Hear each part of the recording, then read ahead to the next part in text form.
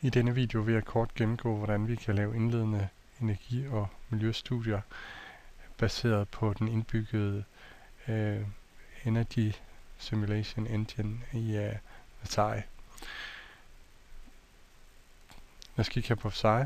Det der er med den motor, energiberegningsmotor, den er bygget på DOE 2 og er bygget op efter nordamerikanske standarder.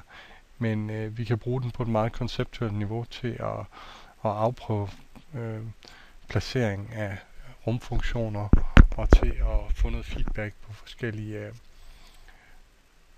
geometriske øh, koncepter af vores bygning.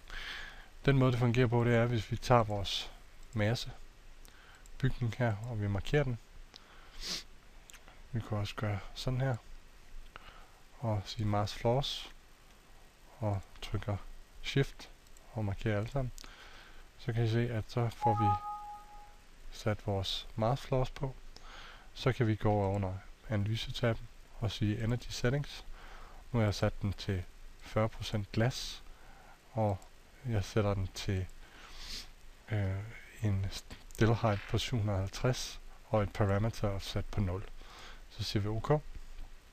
Så har vi så fået etableret en energimodel med en prædefineret glasprocent, og der har vi mulighed for at se vores med overflader eller med de enkelte zoner. Det vil sige, at nu kan vi gå ind og vælge den enkelte zone her, defineret af den enkelte masse, og vælge, hvordan, om det er en bygning, eller om det er et lager, eller hvad det er, og på den måde begynde at arbejde med placering af vores varmeproducerende og ikke varmeproducerende rum i vores bygning.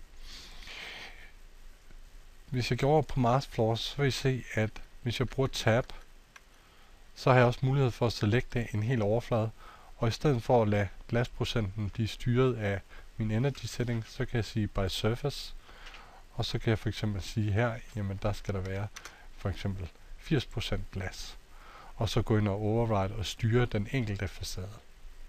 Den her energimodel, den kan jeg også eksportere som en mass model GPXML, så jeg kan køre den over i værktøjer som for eksempel Ecotect eller andre værktøjer til at lave for eksempel dagslysberegninger. Men jeg kan også køre den op i klarten ved at sige Run Energy Simulation. Og så kan jeg gå ind på min Result and Compare. Og så kan jeg lynhurtigt sidde og sammenligne nogle forskellige alternativer, jeg har lavet øh, på det her projekt. Så får jeg simpelthen noget hurtigt feedback på, hvor det er, der er nogle besparelsespotentialer, og hvor det er, der er nogle øh, tab og øh, nogle tilskud øh, fra de forskellige varmekilder osv.